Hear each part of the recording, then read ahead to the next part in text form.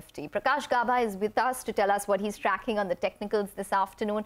Hi Prakash, welcome to the show. Well, it's definitely a down day. The Bank Nifty is leading the decline. What would you recommend? Yes, it's a down day. I was expecting this yesterday. It was a day late. But yes, it has happened. Looks like unless it crosses 7850 Nifty, it's down. Bank Nifty, 39,300 or 400 is the zone I would look at resistance. To my, me, to my mind, I think Nifty and Bank Nifty is down because it is stretched too much. I have two stocks, one long, one short. One is persistent, It possibly can climb up from here. I would have a stop somewhere below the levels of 3860 and trade long and persistent. We could see levels closer to 3950. So persistence looks good to me. Stock weak, I think PVR is a beautiful sell.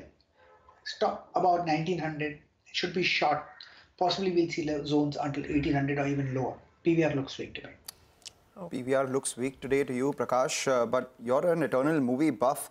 Over the last few weeks, we haven't seen uh, a movie from uh, our side of the world to be as impressive. What are your thoughts on that? Well, well, well. Uh, yeah, I'm a movie buff only when I get invited. Otherwise, I, I prefer not to watch movies in the theater. Oh, so you so you never contributed to the PVR's revenue over the last few years. Never, never.